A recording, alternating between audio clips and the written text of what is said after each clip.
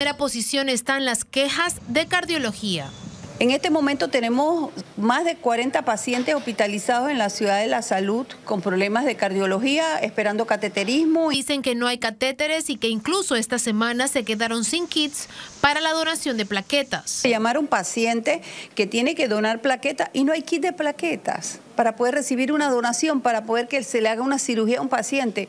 Cosas elementales que nosotros como pacientes no podemos eh, dejar pasar. Una excelente construcción pero nunca fue una planificación real de saber si teníamos todo el personal, todos los médicos, todos los insumos, todo el presupuesto para que esta institución, esta, esta ciudad de la salud, de verdad arrancara a resolver los problemas.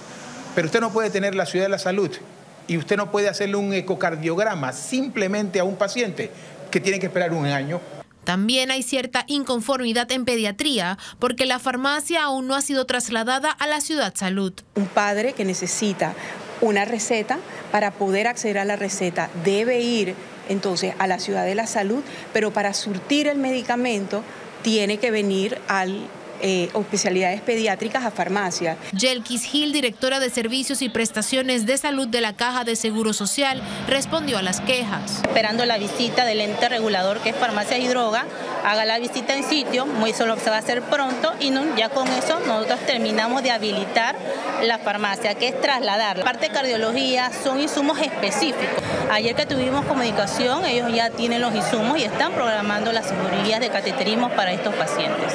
Con el kit de plaquetas, nosotros hicimos una coordinación, recordemos que tenemos el Instituto Nacional de Trasplante, hemos estado coordinando con el director el consumo diario que se dan, recordemos que las plaquetas son donaciones y por cada donación se sacan derivados.